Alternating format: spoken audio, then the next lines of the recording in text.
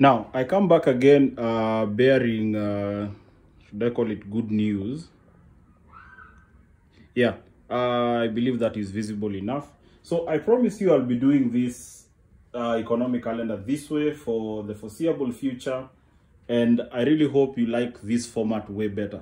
So the time there, uh, the time on your, I hope you can see, or the time uh, there is in Kenyan time. So at least you shouldn't have a, a lot of, uh, what is it called? You shouldn't have a lot of uh, trouble actually deciphering the time okay? That is that. At least that is one adjustment i have done. So even if you check the time on your right hand side left hand side sorry depending. I don't know whether the, vi the video will be mirrored on the other social media platforms but if it's mirrored if it, it will be on the right hand side. If it's not then it's on the left hand side and uh, let's just dive in straight to the economic calendar okay? So let's just dive straight into it okay? So you can see on monday and tuesday no major news. So at least you can you can uh, put in your setups. You can at least uh, check the economic calendar what is happening uh, for the rest of the week. At least you can now uh, put in your positions for the canadian dollar. You can see the canadian dollar uh, we have the interest rate decision on wednesday right and on thursday uh, we'll get to that. But at least on Monday and Tuesday, you can rest assured there is no volatile news. Okay. Uh, now, so let's start here on Wednesday. You can see the S&P Global US Manufacturing PMI is set to remain almost the same. Okay. Uh, S&P Global Services PMI, Purchasers Managers Index, you can see it is at least uh, poised to a little to slow down a little bit.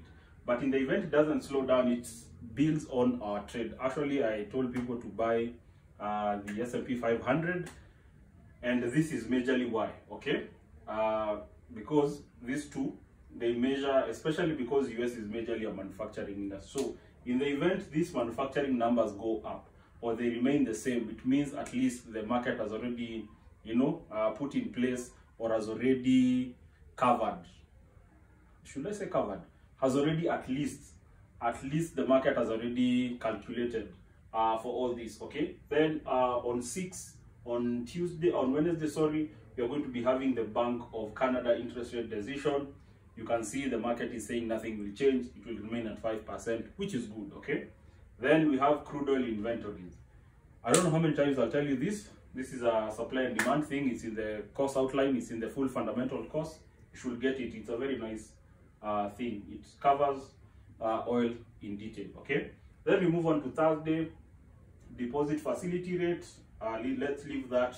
And now we come to the European Central Bank interest rate decision. Okay.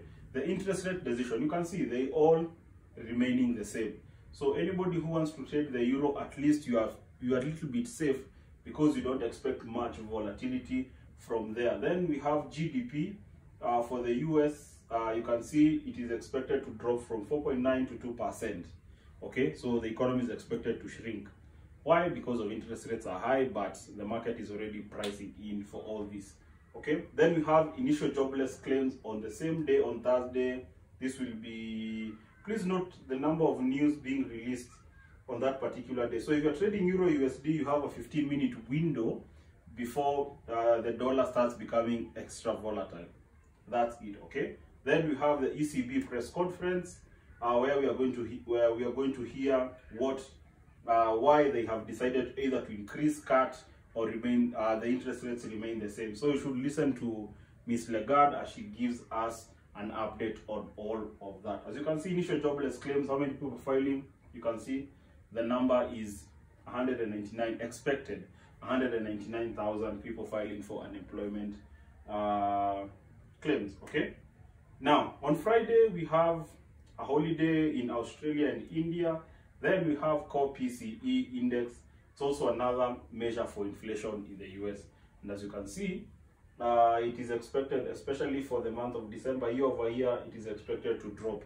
So this could actually help us indicate our SM, uh, our S&P 500 buy, okay, our buy signal. So that is the economic calendar for the week. I don't think there is much, okay, I don't think there is much for me to add, but uh, that's the calendar and that's how things are looking up okay so by the way the the fundamental course is still there for you guys uh it's a very good uh, i'm the one who has done it so i know it's quality uh, that i have provided in there. So that's the economic calendar. I hope you trade uh, properly this week. And for those of you who are trading with me just keep on holding. Uh, we are we if you are new being a swing trader some of you are new swing traders. Don't panic don't worry. It's part of the it's part of the it's part of the job okay? It's part of the job. So just hang in there.